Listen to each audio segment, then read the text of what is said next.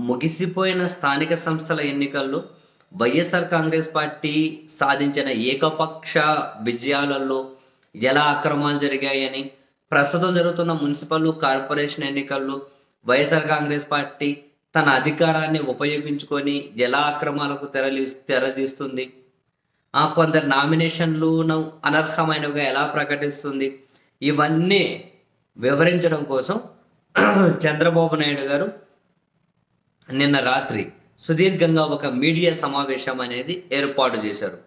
ఇందులో కొందరు అభ్యర్థులు ఆర్ఓలతో గొడవ పడుతున్న దాన్ని కొందరు అభ్యర్థులు మేము చనిపోతామని చెప్పి మీడియా ముందు చెప్పడాన్ని ఇవన్నీ కనుక వీడియోలు పబ్లిష్ చేసుకుంటూ మరీ ముఖ్యంగా తిరుపతిలో స్థానిక సంస్థల ఎన్నికలకు సంబంధించి ఫోర్జరీ సంతకాలతోటి నామినేషన్లను తిరస్కరించారు అని అభ్యర్థులు కనుక కోర్టుకు వెళ్తే జగన్మోహన్ రెడ్డి గారితో పాటు మంత్రులు కూడా జైలుకి వెళ్ళే పరిస్థితి వస్తుంది అని.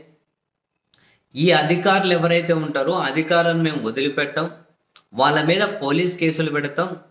ఒకవేళ పోలీసులు ఎఫ్ఐఆర్లు చేయకపోతే మేము కోర్టుకి వెళ్తాం వీళ్ళని మాత్రం వదిలిపెట్టము అని చెప్పి చంద్రబాబు నాయుడు గారు చెబుతూ మరోవైపు కుప్పం డిఎస్పి వ్యవహారానికి సంబంధించి ఆయన నేనే సర్వాధికారిని అని చెప్పి ఆయన ఆ విధంగా ప్రవర్తిస్తూ ఉన్నాడు.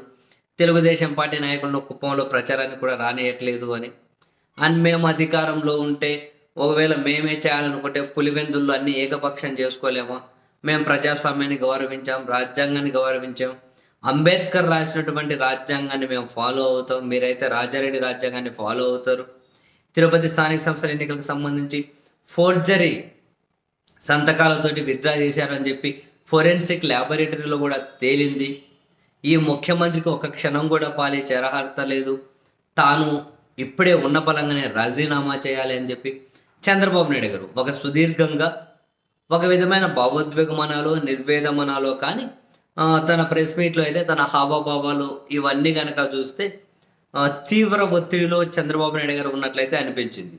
సరే ఒక విషయం అయితే ఏంటంటే ప్రజాస్వామ్య దేశంలో ఎన్నికలు సజావుగా సాగాల్సిందే.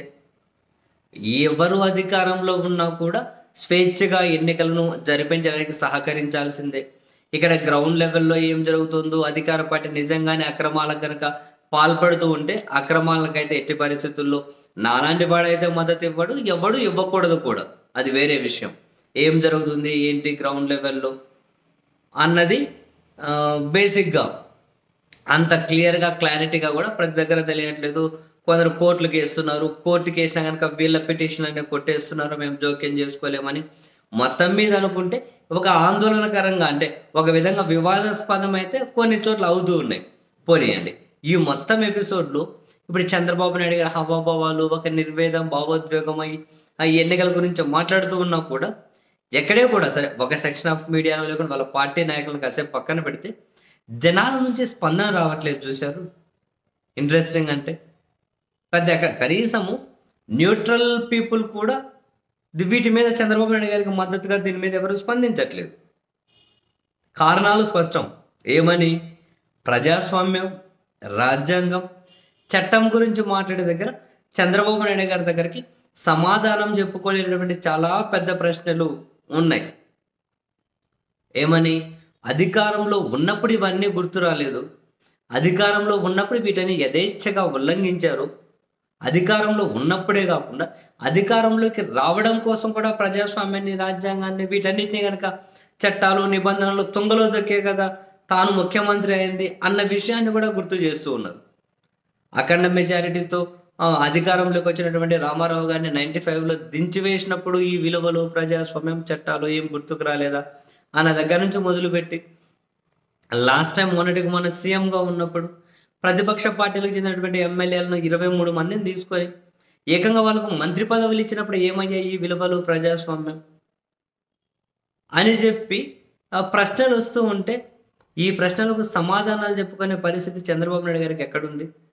యాక్చువల్గా చెరుపుకోలేని మరకలు అనేటివి తాను అధికారంలో ఉన్నప్పుడు తాను అధికారంలోకి రావడానికి కారణాలుగా కొన్ని మరకలే మిగిలాయి కాబట్టి ఇప్పుడు ఆ మరకలను పక్కన పెట్టుకొని చంద్రబాబు నాయుడు గారు ఇంకేం మాట్లాడినా ఏం విలువలు ఏం ప్రజాస్వామ్యాన్ని బోధించినా జనానికి ఎక్కట్లేదు.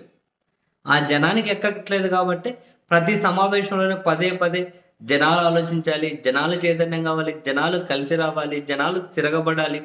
ప్రతి మీడియా సమావేశంలోనూ ఈ మాటలు అయితే అంటూ ఉంటారు చూడండి చంద్రబాబు నాయుడు గారు ఓవరాల్గా సో మొత్తానికి అనుకుంటే చంద్రబాబు నాయుడు గారి దృష్టి చంద్రబాబు నాయుడు గారి ఆలోచనలన్నీ కూడా కుప్పం చుట్టూనే అయితే తిరుగుతూ ఉన్నాయి.